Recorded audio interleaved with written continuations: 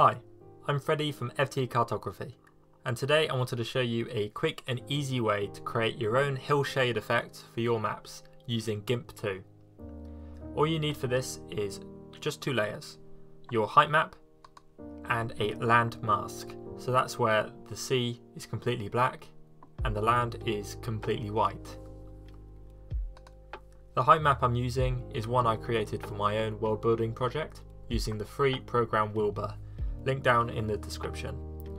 There are plenty of great tutorials out there on the Cartographers Guild, which I wholeheartedly recommend, but I also created a thread there where I detailed the process I took to create this height map, including all of the layer masks and also all the settings I used. So once, so once you've got those two, just create a new layer called bump map. And make sure that if you want your uh, hillshade effect to be in color make sure it's set to RGB on the image modes. So I have nice color selected for mine. So just use the fill tool and fill the entire screen. So the entire layer is now your chosen color go into filters map and bump map select the input to be your height map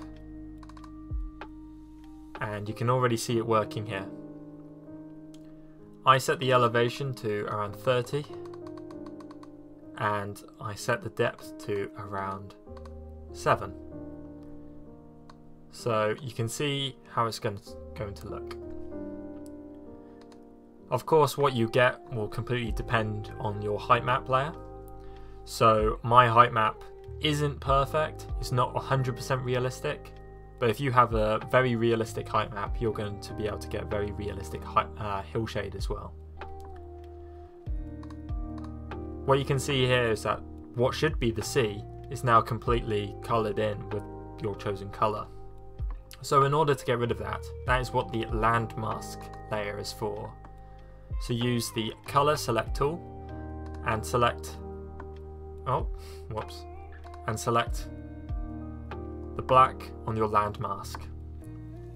Then uh, on your bump map, what I would recommend is to grow the selection by 2 pixels because as you can see here on my height map, on my hillshade layer, there is a small line that goes around it which doesn't look as good as I would like.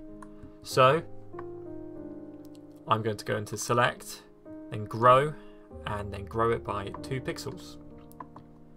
Now you can press delete. And there you go.